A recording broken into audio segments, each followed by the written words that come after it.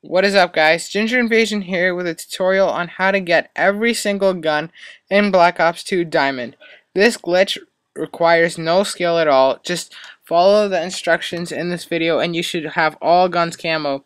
And I'd really like to thank the guy that let me upload this video, his uh, link will be in the description, and please watch this video till the end. I'm Ginger Invasion and I hope you like this video and make sure to comment, like, subscribe, favorite. Thanks.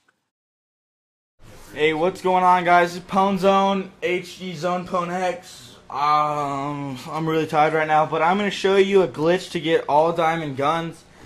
As you can see, a Master Prestige. This is a second account that my friends let me use for this glitch. So, I'm just going to show you all his stats. He's pretty legit. He's a really good player. Um, so what you're actually going to have to do is reset your stats.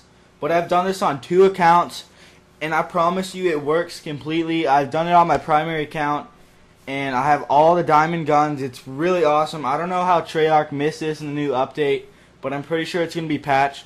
But all you have to do is actually just reset your stats, and then just turn off your PS3, sign back in, and start the game back up, and you should have everything diamond. So let's go ahead and do this.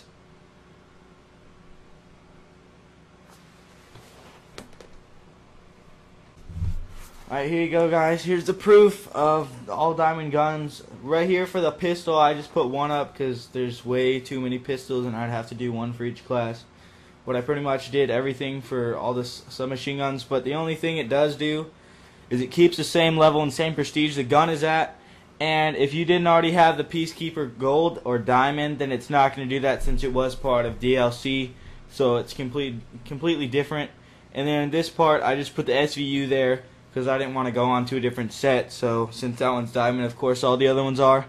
It's a really sweet glitch and it works. So that's it, guys. Peace. Just know that I hate the fact you're alone. That's why I'm gonna get my ass back on.